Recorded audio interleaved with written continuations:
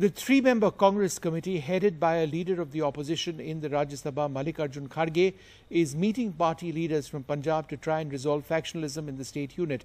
The committee, which includes the All India Congress Committee General Secretary in charge of Punjab, Harish Rawat, and the former Delhi Congress President Jayaprakash Agarwal as members, held its first meeting in Delhi on Saturday, and they've decided to call all ministers present and former state uh, unit chiefs, MPs, MLAs, and other senior party leaders one by one in the first week of June. Today's State President Sunil Jakhar and around 25 MLAs and ministers have been called for this meeting.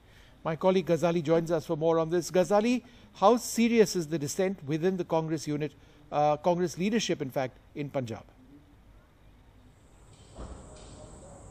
See, there are multifarious issues which Congress is facing right now in Punjab. First, the foremost issue is former Cabinet Minister Navjot Singh Sidhu, who has been repeatedly taking barbs at Captain Amrinder Singh through his tweets. Uh, he is uh, ambitious of being uh, elevated as the state Congress president, which Amrinder Singh has denied uh, directly and very vehemently he's told in one of the interviews to a television channel earlier uh, last month that doors for Sidhu in Congress is closed.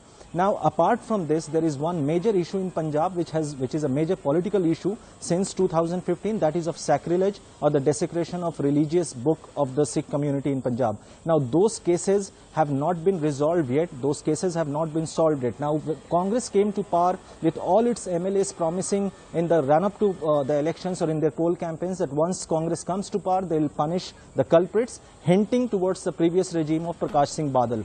Now, most of the ministers and MLAs, they are worried that if, they, if the issue doesn't seem to be resolved in these four years and, ahead of elections, they will also face the wrath of uh, rural population in the villages if, if they go for campaigning. And that is why there is a discontent against the Chief Minister by a certain section of MLAs and ministers. And hence this three-member committee has been appointed to sort out the Sidhu Amrinder rivalry or the feud there in Punjab as well as the discontent among the MLAs and ministers. All right. Thanks, Ghazali, very much for joining us.